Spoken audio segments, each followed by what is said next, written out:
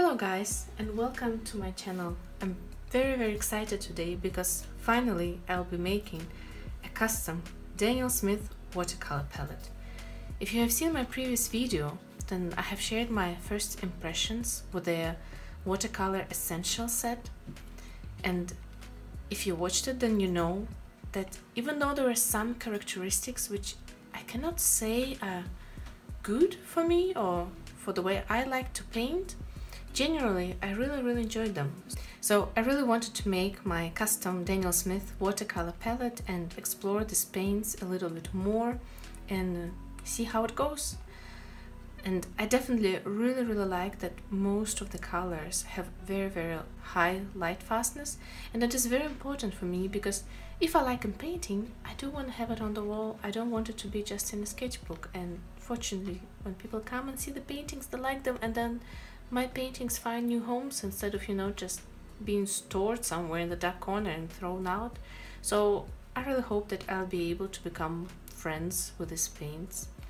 But anyway like I said in my previous video the basic of this or the basis of my custom palette is going to be this um, watercolor essential set from Daniel Smith.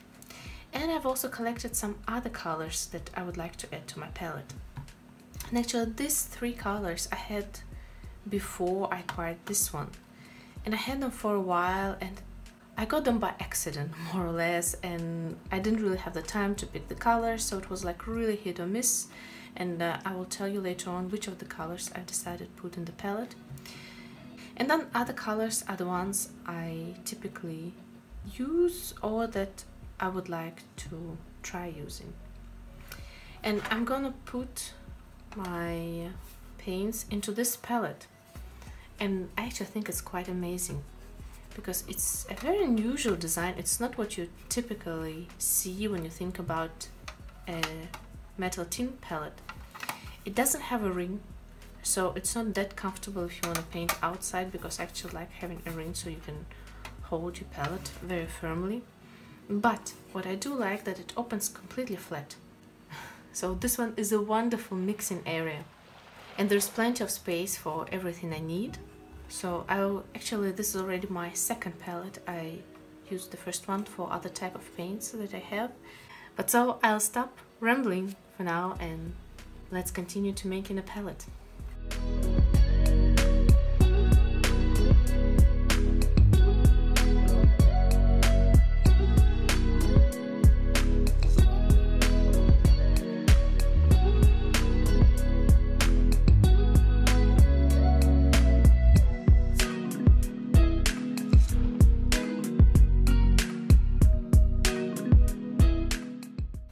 The first color is Hansa Yellow Light from the Daniel Smith Watercolor Essentials set.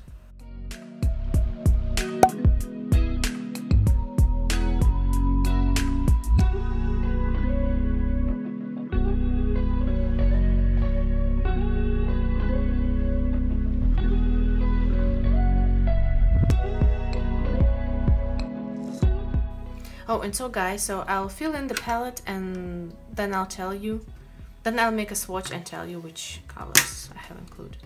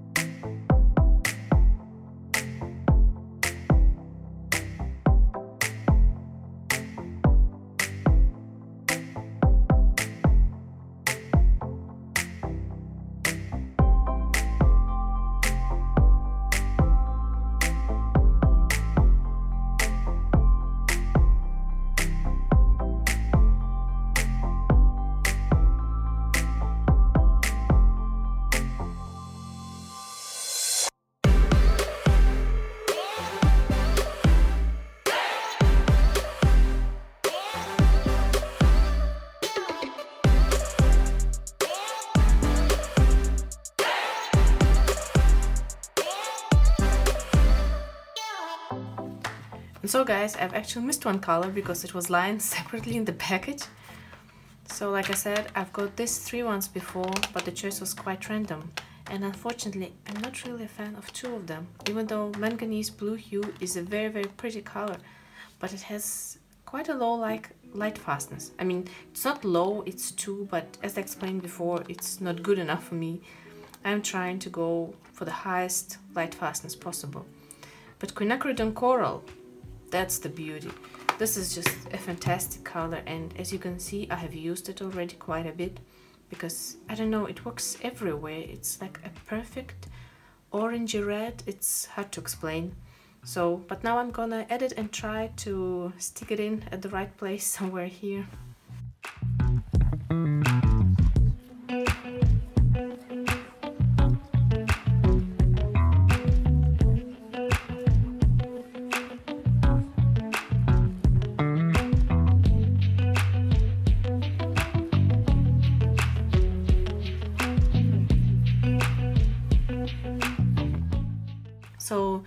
I've showed you the colors that I've added to my palette, but uh, now I'll make a swatch card and uh, I'll walk you through it. Oh, and by the way, two things I would like to mention. First of all, you have probably noticed that I do not like mix the paints with a toothpick. And first of all, I just feel that if I do it, then there will still be some pigment lost if I mix it and then you wipe it off and and the second is that then it gets into the corners and when you actually reach the when you reach like the end how to say you know when you use up the pigment and then you still have this paint in the corners it might be a bit difficult to get out of it. So if I leave it just that way and it dries like this I think it's much easier to use it that way. And the second thing you've also noticed that I didn't fill in all the pans to the maximum because I'm not quite sure yet how much I'm going to use some of them. Because I don't know like Hansa yellow or Hansa yellow light. Well yeah probably but I'm not sure. It's not my first choice for the yellow color. The same goes for quinacridone rose and French ultramarine which I know is very weird because usually everybody loves ultramarine I don't know, I, I just don't like the tint of the color, so I usually pick some other blues from the palette, even though of course ultramarine, ultramarine is ultimately useful. But uh, yeah, let's proceed to making a swatch card and it will be just a very loose swatch card because I want to understand how I feel for the paints and if I would like to change some of the colors. So let's let's move to it.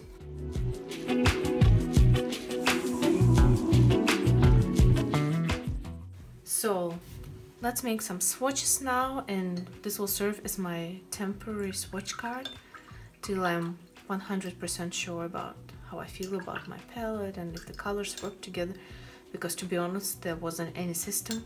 Some of the colors are the ones that I like the most and others that are new to me but I thought they looked very pretty and I really wanted to try them out.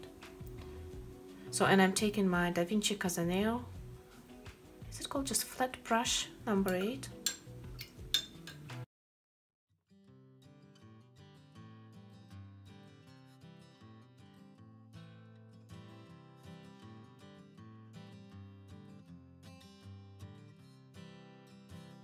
So the first color is Hansa Yellow Light.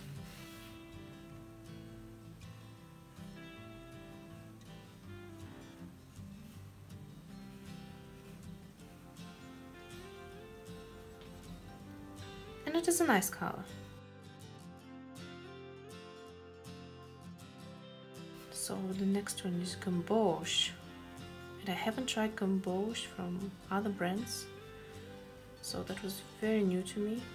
And I had a feeling that was a bit opaque. But, and it's also very much on the orange side. It's not like warm yellow. It's not like, I don't know, Nickel Azo yellow, which is a beautiful warm yellow in my eyes at least. But when I actually tried it out in my previous video when I just testing out the watercolor essential set, when you work with it, it just glazes so nicely and it works with other colors really really great so I really want to try using it more and see what else I can get out of it. And then the third color, this one is new to me and it is Aussie Red Gold. It came out very thick out of the tube. Ah, this is so pretty.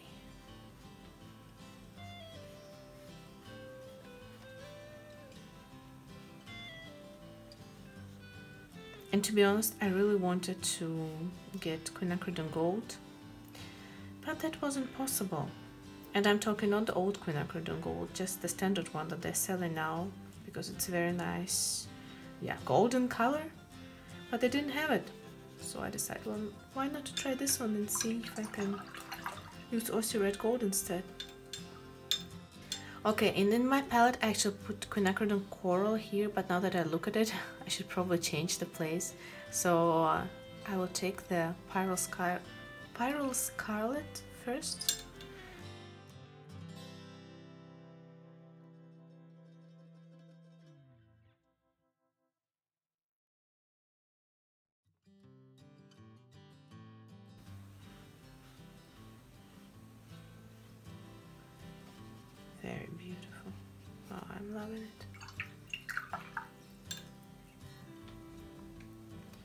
So now quinacridone coral.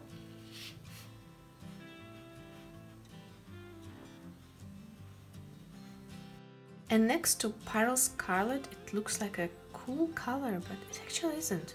I mean, I don't know, when I use it in a painting, I don't see it as a cool red. I don't know. Odd but it's like they say sometimes to sometimes colors work differently when they are surrounded by different colors if you understand what I mean. So quinacridone rose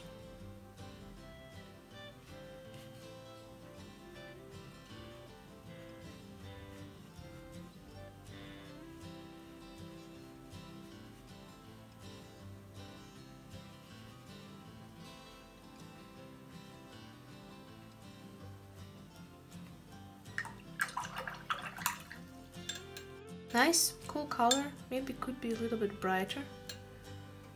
But oh well. Let's see how it goes. The next color is Moonglow.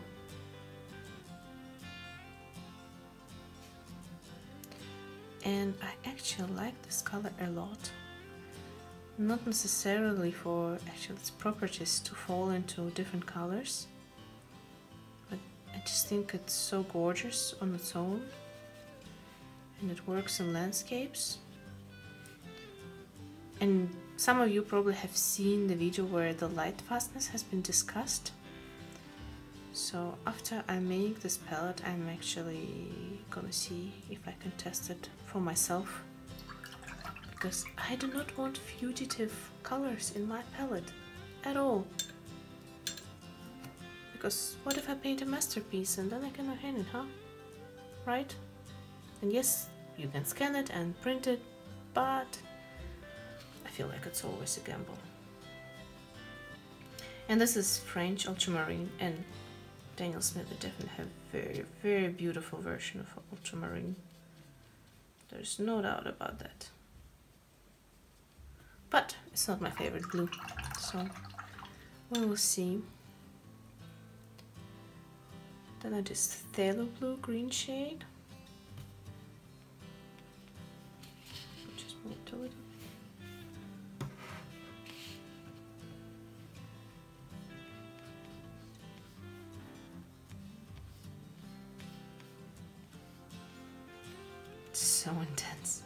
So beautiful.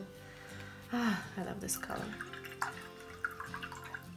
And then the next one is a very special color. It's Sleeping Beauty Turquoise Genuine it's the only color from the PrimaTek series that I have. And I don't know, when I saw it, it was impossible for me not to take it. And usually I would opt in for Cobalt Teal because I really like this color. But maybe you have noticed that actually in my palette there are no cadmiums or nickels. At least as far as I know. I cannot say that I checked everything one by one but I try to avoid those colors that can be potentially harmful for you or for the environment. I'm not an expert, don't take my word for granted make your own research but I thought if I can make this you know a palette avoiding potentially harmful colors including cobalts then why not? I can live without them I can work with some other colors so why not to try it out? Anyway now it's Sleeping Beauty Turquoise Jenny it's a, it's a bit thick just like Aussie Red Gold actually.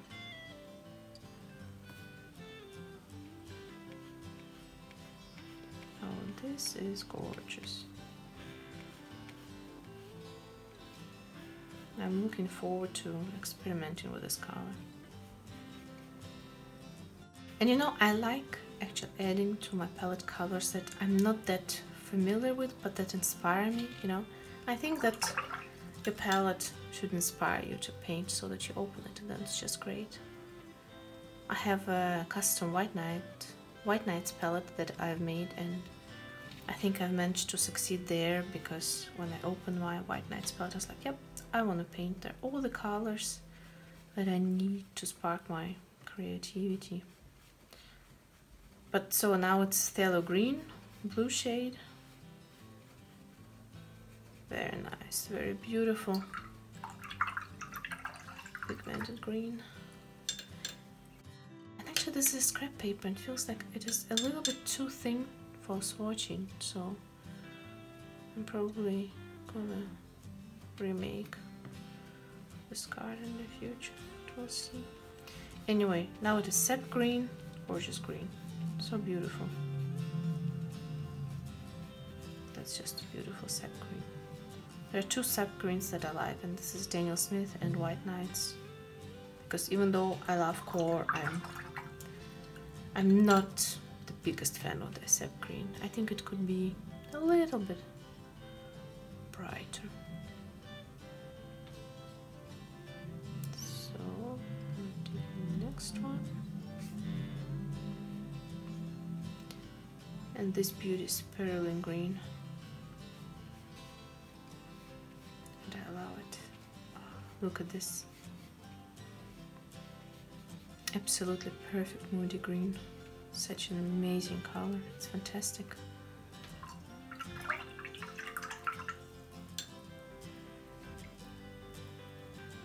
And the last one is Sepia. I just kind of regretted already that I picked it for a palette. Though I've tested and it makes nice mix with ultramarine for grey and I do like sepia on its own. But it's a very multi-pigmented color and I have some ideas of what else could work for me. So let's see. But it's beautiful. It's definitely beautiful. So let me just show it to you a little bit closer. Because I'm also using natural light, so it might be a bit difficult to see. Now just let it dry for a couple of minutes so that I could show you the final dried version of it. So guys, now my palette is ready and I'm really happy about how it turned out. Of course, I still need to test it a lot and see how the colors are working together. And I know that, that you usually do the other way around, you see which colors are working for you and then you add them to the palette. But I'm not very familiar with the Daniel Smith paints. I do not know yet what I'm going to like or what I'm not going to like and which color combination. So I just went with my gut and let's see how it's gonna roll out. And I think in my next video I'll show you the painting that I'm gonna make with these paints because I really really want to play with them. But if I add this video here then it would probably be a little bit too long. Anyway, I'm very very happy about my palette and it's gorgeous and I'm looking forward to using this mixing areas and to experience the I don't know the PrimaTek color and the Red Gold. I'm so excited about these ones. And now you can already see that the Moonglow is separating you see? Oh, it's beautiful. It's it's a definitely a very magical mixture I think of the pigments. Oh, I like it a lot. But so anyway I really hope that you have enjoyed this video. And if you did please give it a like and subscribe to my channel if you haven't done it yet. And I hope to see you in my next video Bye!